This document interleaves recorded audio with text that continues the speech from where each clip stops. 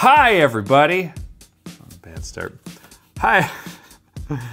Hi, I'm Dan from Cart and Horse. Thank you for buying this material pack for Redshift for Cinema 4D. Today we wanted to walk you through how it works and how you can help use this for your motion graphics workflow.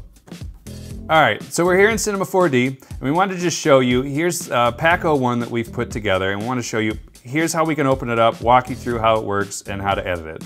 So pretty straightforward, you'll see we've got our viewport window, we've got our Redshift render, render window going here, so you can see, here's the material, um, and here's the render view.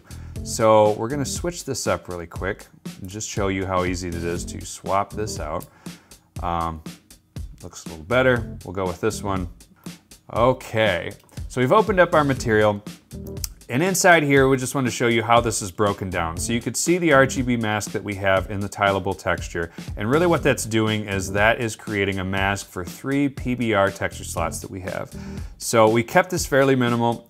If you want to use solid colors, RGB values, or do any sort of, of uh, post corrections or image corrections or whatever it is you want to do, you can modify these as you see fit. But the way these are set up now, we have our scale for blue, scale for green, so we can scale each texture set independently. Um, and this really just gives you a degree of control. So if we're using leather or fabric or wood or whatever it is you want to use in that texture slot, you can control that texture scale independently. We also have an option set up here for triplanar scaling as well. So if you don't want to deal with UV mapping or UV space, you can override that for each one and you just have the options.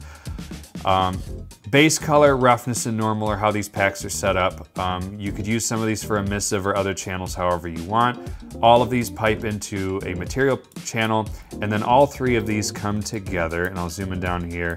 We have our mat set up with, and this is what holds the RGB value. So if you wanna make more of these or modify them or do whatever, these all pipe in and we control these independently.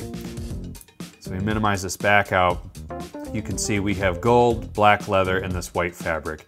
And all of these you can go in and swap out different PBR materials if you're using Megascans, if you have your own material library.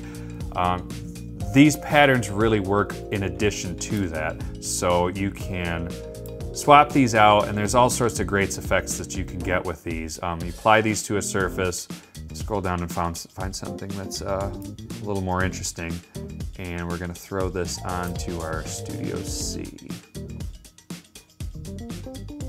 So you can start to see a little bit in here of how this applies. I'm gonna break out of the camera here and zoom around. Um, so we have this on here. I'll go in and tweak this a little bit. We're gonna open up the pineapples here. So let's crank this up to the number of tile values. We're at two, we went to one. So if we crank this up to 10, you can start to see how this starts applying. And all of these have different values. So you can make these metal, you can tweak these however you would like, but you can start to see how you can quickly mix and match these um, to get different effects and just play around with them. Loads of possibilities. Um, you can. We have a material slot. You can pipe this into emissive as well. Um, great lighting effects, all sorts of good stuff. Thank you guys for buying this material pack. Please reach out to us if you have any questions whatsoever. We've had a lot of fun using these. We hope you do too. Bye, everybody.